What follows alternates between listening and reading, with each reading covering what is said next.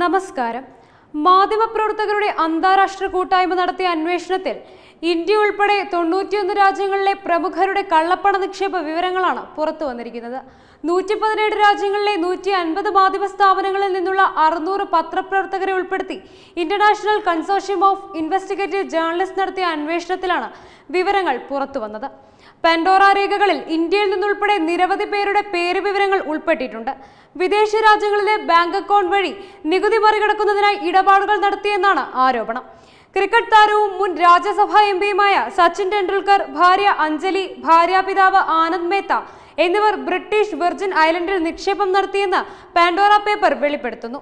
അനിൽ അംബാനി പതിനെട്ട് കമ്പനികളിൽ കള്ളപ്പണം നിക്ഷേപിച്ചെന്നും പാൻഡോറ പേപ്പറിലുണ്ട്. നീരവ് മോദി ഇന്ത്യ വിടുന്നതിന് ഒരു മാസം മുൻപ് സഹോദരി പൂർവി മോദി ഒരു ട്രസ്റ്റ് രൂപീകരിച്ച് കള്ളപ്പണം നിക്ഷേപിച്ചതായും റിപ്പോർട്ടിലുണ്ട്. ഗൗതം അദാനിയുടെ സഹോദരൻ വിനോദ് അദാനി സിനിമാ താരം ജാക്കി ഷ്രോഫ് പാകിസ്ഥാൻ പ്രധാനമന്ത്രി ഇമ്രാൻഖാനുമായി അടുപ്പമുള്ളവർ റഷ്യൻ പ്രസിഡന്റ് പുടിൻ ജോർദാൻ രാജാവ് മുൻ ബ്രിട്ടീഷ് പ്രധാനമന്ത്രി ടോണി ബ്ലെയർ തുടങ്ങിയവരുടെ നിക്ഷേപങ്ങളെക്കുറിച്ചും പാൻഡോറ പേപ്പറിൽ വെളിപ്പെടുത്തലുണ്ട്.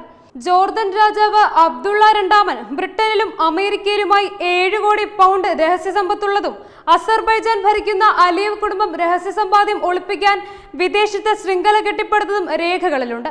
പുടിഞ്ഞ മോണോകോയിൻ രഹസ്യ സമ്പാദ്യമുണ്ടെന്നും ടോണി ബ്ലെയറും ഭാര്യ ചെറി ബ്ലെയറും ലണ്ടനിൽ അറുപത്തിനാല് പോയിന്റ് അഞ്ചു ലക്ഷം പൗണ്ടിന്റെ വീട് വാങ്ങിയപ്പോൾ മൂന്ന് ലക്ഷം പൗണ്ടിന്റെ സ്റ്റാമ്പ് ഡ്യൂട്ടി ഒഴിവാക്കിയെന്നും റിപ്പോർട്ടിൽ പറയുന്നു. അനധികൃത സമ്പാദ്യമുള്ള ഇന്ത്യക്കാരെ കുറിച്ച് അന്വേഷണം നടത്തുമെന്ന് കേന്ദ്ര സർക്കാർ അറിയിച്ചു. പ്രത്യക്ഷ നികുതി ബോർഡ് ചെയർമാന്റെ മേൽനോട്ടത്തിലുള്ള സംഘമാണ് അന്വേഷണം നടത്തുക. അതോടൊപ്പം എൻഫോഴ്സ്മെന്റ് ഡയറക്ടറേറ്റ് റിസർവ് ബാങ്ക് സാമ്പത്തിക രഹസ്യാന്വേഷണ വിഭാഗം ഉദ്യോഗസ്ഥരും അന്വേഷണം നടത്തും. ഇന്ത്യയിൽ നിന്നുള്ള മുന്നൂറിലധികം പ്രമുഖരുടെ വിവരങ്ങളാണ് പാൻഡോറ പേപ്പറിൽ പുറത്തു വന്നിട്ടുള്ളത് പാകിസ്ഥാനിൽ നിന്നുള്ള എഴുന്നൂറ് പേരുണ്ട്. പാക് പ്രധാനമന്ത്രി ഇമ്രാൻഖാന് ഇവരുമായി ബന്ധമുണ്ടെന്നും റിപ്പോർട്ടുകളിൽ പറയുന്നുണ്ട്. അതേസമയം ലിസ്റ്റിൽ ഉൾപ്പെട്ട പലരും പ്രമുഖരാണ്. അതുകൊണ്ട് തന്നെ പല രാജ്യങ്ങളിലും ഇതിന് നിയമപരിരക്ഷയുള്ളതിനാൽ ഇവർ കുറ്റക്കാരാണെന്ന് ആരോപണമുയരില്ലെന്ന് റിപ്പോർട്ടുകൾ പറയുന്നു. സച്ചിന്റെ നിക്ഷേപങ്ങൾ നിയമപരമാണെന്നും അധികൃതർക്ക് രേഖകൾ നൽകിയിട്ടുണ്ടെന്നും സച്ചിന്റെ അഭിഭാഷകൻ വ്യക്തമാക്കിയിരുന്നു. അതിനിടെ മുൻ സൈനിക ഇന്റലിജൻസ് മേധാവിക്കും മകനും സീഷേഴ്സിൽ നിക്ഷേപമുള്ളതായും പാൻഡോറ വെളിപ്പെടുത്തലിലുണ്ട്. രാകേഷ് കുമാർ ലുംബയും മകൻ രാഹുൽ ലുംബയും രണ്ടായിരത്തി പതിനാറിൽ സീഷേഴ്സിൽ റാരൻ പാർട്ട്നേഴ്സ് ലിമിറ്റഡ് കമ്പനി രജിസ്റ്റർ ചെയ്തിരുന്നു.